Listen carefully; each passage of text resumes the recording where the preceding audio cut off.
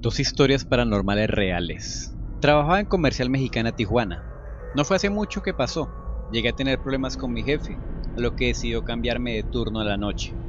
Pensó que me asustaría o algo así, pero no. A mí no me daba miedo eso. No soy muy creyente. Un día, le tocó su descanso. Fui al baño como a las 2 a.m. Apenas empezaba a quedarme dormido, a lo que escuché que empezaron a limpiar el de las mujeres.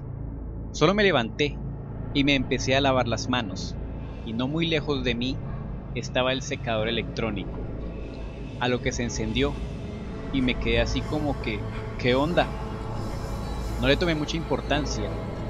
Fui a fijarme el otro baño, a ver quién estaba ahí. ¿Y cuál fue mi sorpresa? Que no había nadie. Me asusté un poco. Me fue un poco difícil creer por qué se habían escuchado las puertas cómo se movían, a lo que decidí mejor salir. Voy pasando por un lado de la máquina de papel, pegada a la pared, y me cayó en los pies, sin siquiera haberla tocado. Se quebró totalmente. Literalmente, estaba tan asustado que corrí y grité de miedo. No podía contenerlo. Fue algo real que solo me ocurrió a mí. Después de eso le conté al joven de limpieza y me dijo que yo no quería creer, pero él hablaba en serio. Quería distraerme en mi tiempo trabajando ahí, pero era casi imposible. Las cosas empezaban a caer más seguido.